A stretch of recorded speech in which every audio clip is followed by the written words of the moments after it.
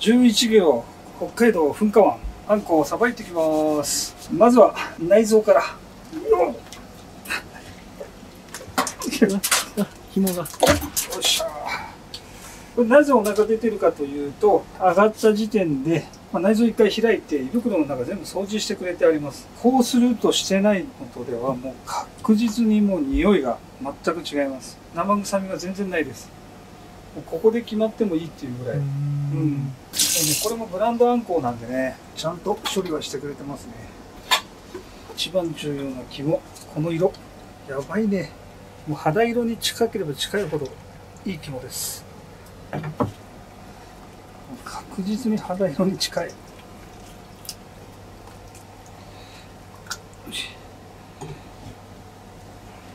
うわ、すごい。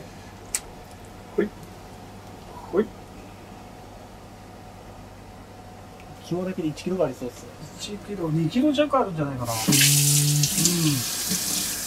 卵巣ですね。腹巻きですね。まだ卵がまだまだこれからですね。で胃袋ですね。この辺は食べないんですか？食べますよ。あん食べれるんですね。あんこは珍しくエラまで食べられる、ああ、じゃあ本当は捨てるとこがないって感じ本当にですするところがなくて。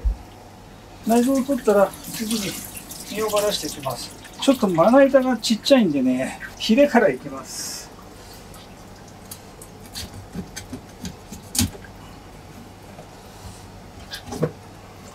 かあんこって潰さなくてもさばけるんですね。吊るして胃袋に水を入れるとこう重みが下に行ってあんこがこう動かなくてこれまな板だとこういう感じで動いちゃうからはい。あの吊るしてやるのがねすごく合理的で、まあ、潰さなくてもさばけるよ。うん吊るさなくてもさばけますよいや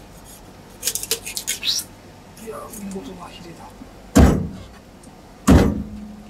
あんこの歯ってすごく鋭くて内側には倒れるんだけどこうやって。はい、はい。外側には倒れなくて。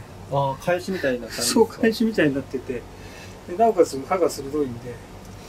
結構迫力ありますね。迫力あるでしょ。皮がもったいないんでね。なるべく皮をねうん。残すようにして高級魚ですもん。ね。うん。それ一匹でおいくらぐらいですか？3万ぐらい。なるほど。よし。頭が。取れました。通常は皮を全部剥いてからばらしていくんだけど吊るし切りの時もそうなんだけど、まあ、今回はこのね皮をついたまんまちょっと料理をしたいと思うんで皮をついたまんまばらしていきますねはい。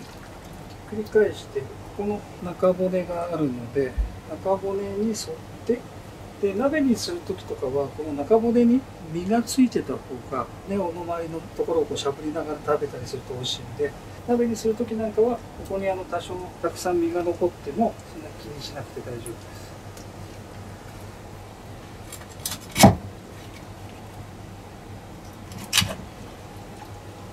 よいしょ反対側を下ろしていきます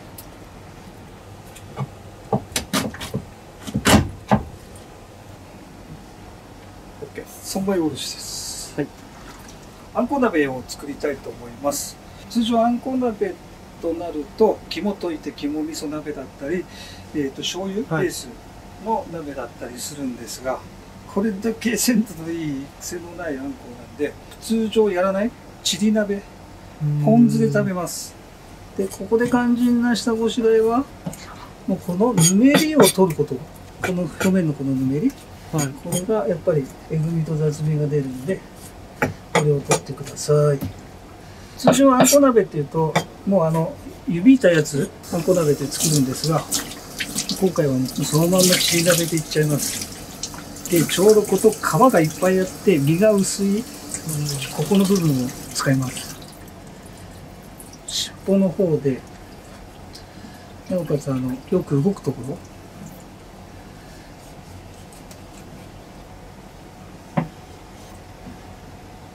皮がプルプルすぎて。これがね鍋に入れるとね皮がまた膨らむんですよ。リードで余計な水分を取ります。よし。身も綺麗だし、皮もなんかプルプルっすね。ねプルプルだよねほんとすごいこの肝です。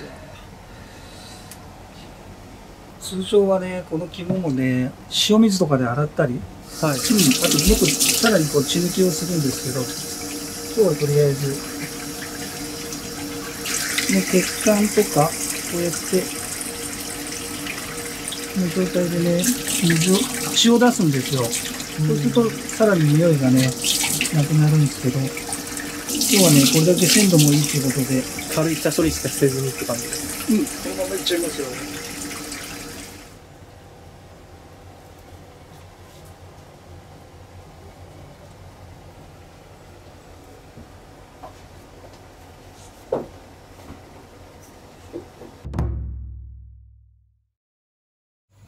先ほどのあんこです。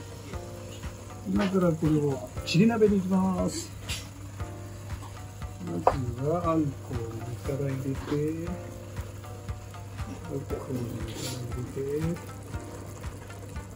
言ってたみたいになんか皮なんかふふっくらしてきましたね。ね皮がふっくらするでしょ。身もねやっぱり鮮度がいいからこれギュッと縮むんだよね。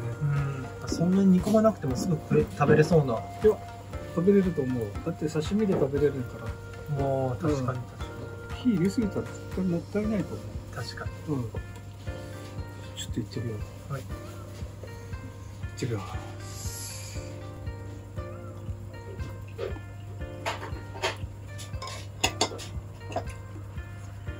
肉？肉って言っちゃいけないんだろうけどあそんな食感なんですか？いや海の香りが全然しないうーん。いや本当にびっくりへえ。さすが皮はどんな感じなんですか？皮はゼラチンの、まあ、味自体はないけどなんかゼラチンのプニプニ感がすごく良くてうん。でこの白身のこの身のところは本当に歯ごたえが本当に歯ごたえがあって魚っていうちょっと思えないぐらい。あんこなのにぜひぜひこの辺じゃあちょっといただきます。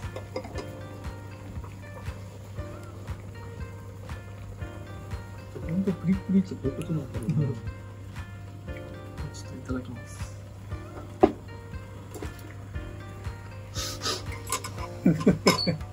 自分多分ちゃんとあんこ食べたのこれ初めてなんですけど人生で。むちゃくちゃ美味しいですね。あ 美味しいよね。は本当美味しいよいね。えすごい。美味しいよね。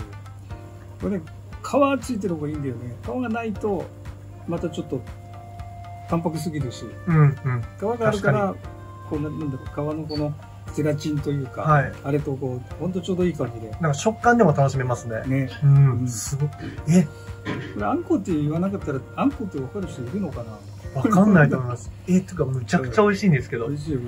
は次は肝をいっちゃおうかな。やばい肝ちょっと柔らかすぎて箸で。いプルプルっすね。プルプルどころかほんと柔らかすぎて。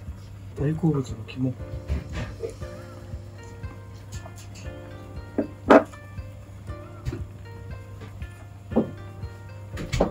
ふわっふわ？ふわっふわの本当にしっとりしてて。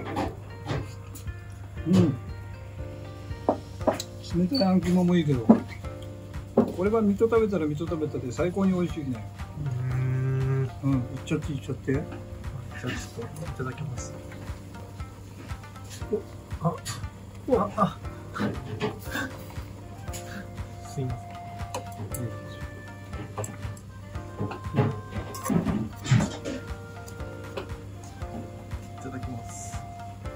自分はまあ肝実はそんな得意じゃないんですよね。あそうなの？はい。そういう人いるよね。あんま食べないんですよね、うん白子とか肝とか。あれ？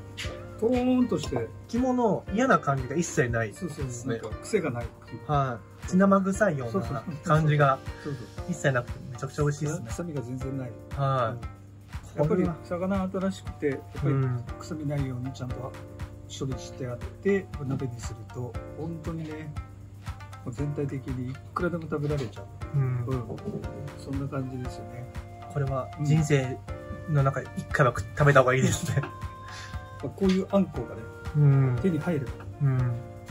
手に入ればぜひちり鍋でやってみてください。ありがとうございました